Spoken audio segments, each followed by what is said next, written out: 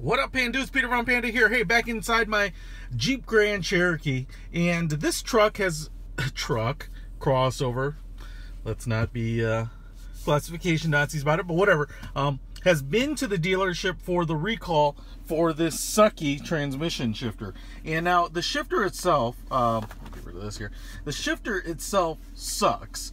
Uh, and it's also dangerous. You can check out my video uh, that I talked about where that um, is a problem in the Anton Yelchin controversy, but it absolutely was dangerous. In fact, you could see me where I put the the the, the shifter into reverse purposefully, but you could do it accidentally, and then I got out of the, the Jeep and walked around, and there's nothing preventing it from um, kind of rolling away, and that's kind of the issue. So what they did is only a software update. I actually wasn't really sure how they were going to fix it, but it's just a software update. In fact, the shifter works no differently when I kind of tap it and you can kind of get it into different modes. Um, and you can kind of overshoot you know like there if I overshot reverse you can overshoot your selected gear. But the the, the difference now is it auto park so let me let me just shift it in here into reverse a second. And now you can see that the indicator on the dash and on the shifter says reverse.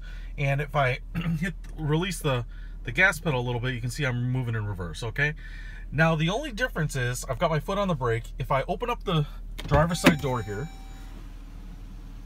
it says, uh, and I let off the brake, it says auto park engaged.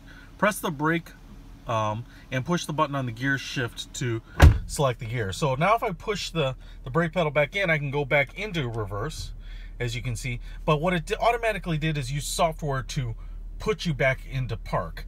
Now, if I move here to neutral, boom, neutral, and now I let off the brake, obviously I'm in neutral. The car isn't really moving anywhere. I'm on a fairly flat surface right now.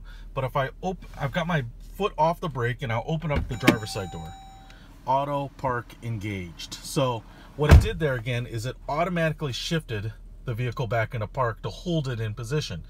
Now, um, it, it's an improvement, I guess. I guess my commentary on it is I understand what they're doing here to fix this uh, and to make it safer. They've, they've kind of taken the sucky functionality of this shifter and try to add this safe auto park functionality. My issue with it is that there are cars that sometimes you want to open the driver's side door while you're reversing. Sometimes you're looking and trying to, um, you're leaning out and, and reversing up to a trailer hitch or, or something like that, or into a boat ramp, or trying to kind of squeeze it into a tight spot or whatever.